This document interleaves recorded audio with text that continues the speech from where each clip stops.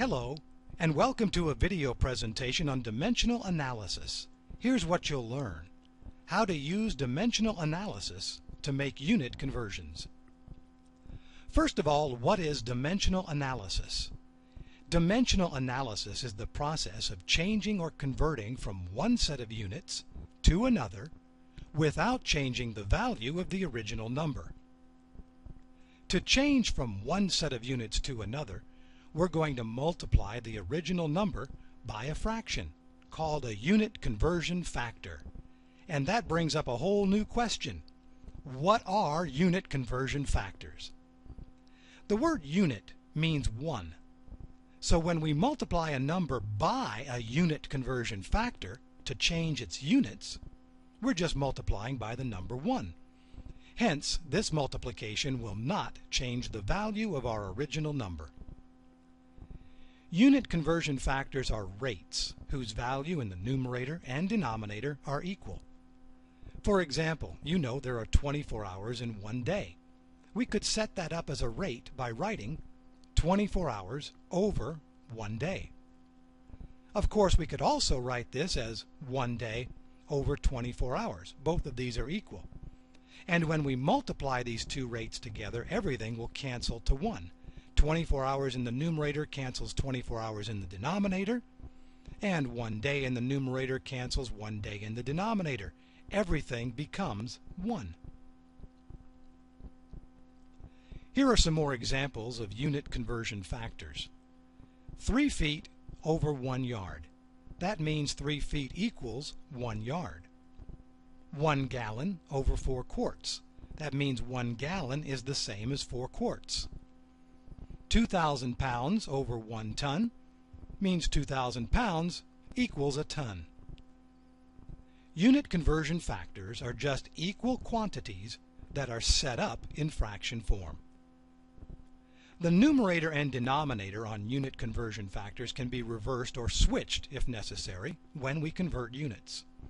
For example, 1 minute over 60 seconds. That could also be written as 60 seconds over 1 minute. 16 ounces is the same as 1 pound. Could also be written as 1 pound is the same as 16 ounces. We can use as many unit conversion factors as necessary to get to our final answer.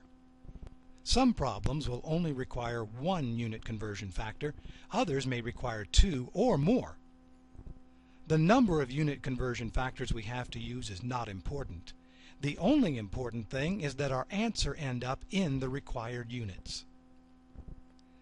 Let's convert two and a half tons to an equal number of pounds, and I'm going to start by writing down the number we'll convert, two and a half tons. Now if the number we are converting isn't already written as a fraction, let's set it up as a fraction to start. Two and a half tons can be turned into a fraction by putting it over 1.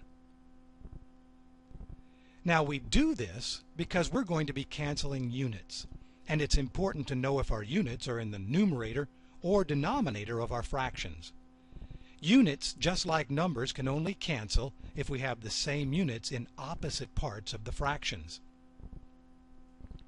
Now, since we want to convert from tons to pounds, do we know a relationship between these two units? In fact, we do. One ton is 2,000 pounds, and we can write it like this. One ton over 2,000 pounds. However, we could also say 2,000 pounds is one ton, and write it like this. 2,000 pounds over one ton. So how do we know which of these unit conversion factors we're going to use in this problem? Since we want to cancel the unit tons located in the numerator of our original fraction, we have to use the unit conversion factor with tons in the denominator, so they'll end up canceling when we multiply. So let's multiply our original number by the second unit conversion. Now we can see that the units tons cancel in the numerator and the denominator. And the only units we have left are pounds, and that's the one we want. So with our units in order, we can finish the problem by working with the numbers. Multiplying the numerators, two and a half times 2,000 gives us 5,000 and pounds are in the numerator as well. In the denominator we just have 1 times 1 which is 1. So two and a half tons is the same as 5,000 pounds. Now let's convert six days to an equal number of hours. Again, start by turning the original number into a fraction. We have six days, so I'll put it over 1. What's the relationship between days and hours? Well, there are 24 hours in a day. So let's go ahead and multiply by 24 hours over one day. Now, did we use the right conversion factor here, 24 hours over one day? Or should we have used the inverse, one day over 24 hours? Once we write in the units for our conversion factor, it's easy to see if you've used the right one. If the units you want to cancel appear in the numerator of one fraction and in the denominator of the other, your problem is set up correctly. In this case, we've set it up correctly. The unit's days will cancel in the numerator and denominator. We're now left with our desired units of hours. With the units taken care of, we finish up by working with the numbers. In the numerator, 6 times 24 is 144, and the units up there are hours. And in the denominator, 1 times 1 is 1. So 6 days is equivalent to 144 hours. Now let's convert 45 miles per hour into feet per second. Again, start by turning the original number into a fraction. Now it may not look like it, but our problem is already a fraction. The word per means divide. So our fraction sets up as 45 miles over one hour. In this problem, we have two conversions to accomplish we need to change miles to feet and hours to seconds so that we end up with feet per second. When I have multiple conversions to perform, as we do here, I like to write that off to the side to remind me of the units I'm looking for in the numerator and denominator. So let's go ahead and write feet per second off to the side. Now, it doesn't matter which one we convert first, so I'm going to start with miles to feet. One mile is 5,280 feet. So let's multiply by one mile over 5,280 feet. Now, did we use the right conversion here, or should we use the inverse, 5,280 feet over one mile? Well, since miles are on the top in both fractions, we used the wrong conversion. So let's turn it upside down so miles will cancel when we multiply. So I'll put 5,280 feet over one mile. Now the units miles do cancel in the numerator and denominator. And we have feet in the numerator, which is exactly what we want. Next, let's convert hours to seconds. Now, if you're not sure how many seconds are in an hour, and a lot of people aren't, we can use two conversion factors to get there. First, convert from hours to minutes, because we know that one hour is 60 minutes. Now, we set up the conversion properly because hours cancel. The hours in the denominator will cancel with hours in the numerator. Next, we have to convert the minutes to seconds. We know that in one minute there are 60 seconds, so let's multiply by one minute over 60 seconds. Again, we know we set up the conversion properly because minutes will cancel, the numerators and denominators. We're now left with the units feet in the numerator and seconds in the denominator, exactly what we're trying to achieve. Since we have the units all taken care of, we now work with the numbers.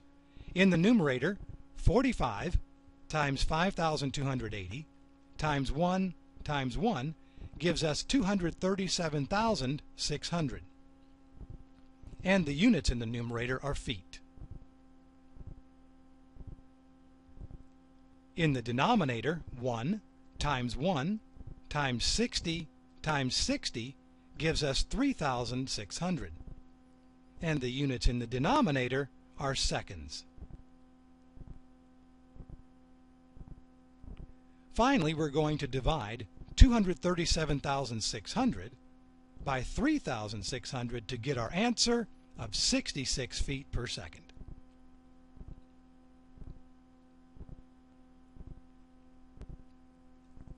Now a satellite is orbiting Earth at an altitude of 625 kilometers. What is the satellite's altitude in miles? And they gave us a note on the side here. They tell us that one kilometer equals 0.62 miles. That's going to be useful. We start by turning the original number into a fraction. We have 625 kilometers, so I'll put that in the numerator and put a 1 underneath it.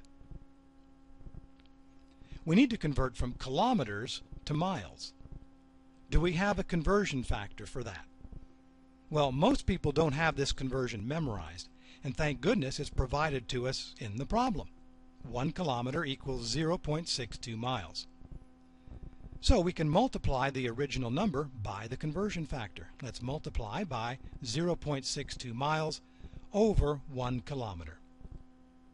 Now we know we set up the conversion factor properly because kilometers will cancel in the numerator and the denominator. That leaves our units as miles, which is what we're looking for.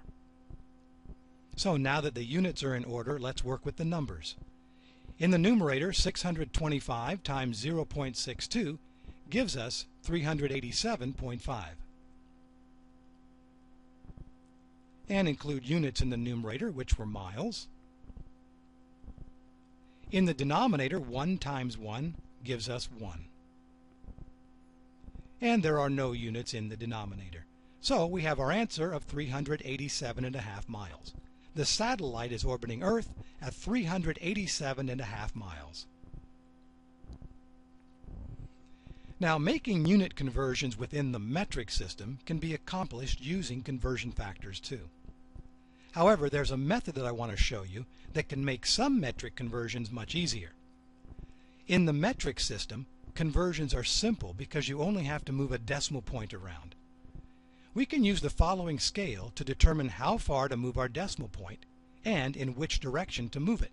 And here's the scale.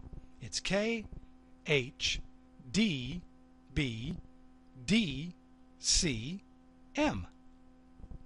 Each letter represents one of the common prefixes in the metric system. There are other prefix letters in the metric system, but for our needs we're just going to focus on these. K means kilo, as in kilometer. H means hecto, as in hectoliter. D means deca, as in decagram. B stands for the basic metric units, just liters, just meters, or just gram. B is not a prefix. D means deci, as in decimeter. C means centi, as in centiliter. And M means milli, as in milligram. Now, many students remember these letters by associating words with each letter to make a sentence or a saying. And one of the more popular mnemonics is, King Henry died by drinking chocolate milk. Now, you can use this one, or make up one of your own. Let's convert two decaliters into milliliters using our scale. Here's our scale again. First, write down the number in the problem that we're going to convert with its decimal point. We have 2 decaliters, so I'll write down 2 with a decimal. Now, identify where we start on this scale. Since our original number is in decaliters, we're going to begin at deca. The scale will show us how to move our decimal, so let's put a decimal point above deca. Just like that. Now, how many times and in what direction do we move the decimal on our scale to get to milli for milliliters.